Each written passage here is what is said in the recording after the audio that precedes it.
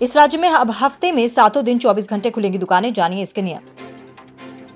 PTI की खबर के अनुसार कर्नाटक सरकार ने 10 कर्मचारियों से ज़्यादा वाली दुकानें शोरूम और अन्य बिज़नेस को 24 घंटे खोलने की अनुमति दी है।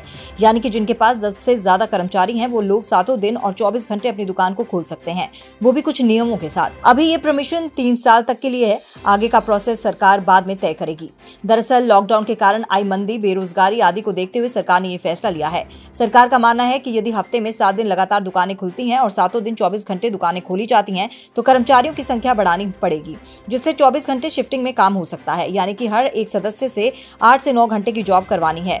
तो इस ड्यूरेशन को बनाए रखने के लिए व्यापारियों को ज़्यादा से ज़्यादा व्यक्तियों की आवश्यकता पड़ेगी। इसी आवश्यकता के कारण रोज़गार भी बढ़ेगा। तो सरकार के इस कदम का मकसद रोज़गार पैदा करना और विकास दर को प्रोत्साहित करना है।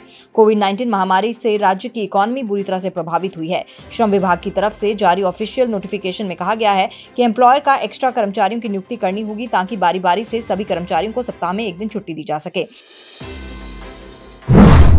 ये है सात दिन और चौबीस घंटे दुकान शोरूम ऑफ़िस आदि खोलने के नियम।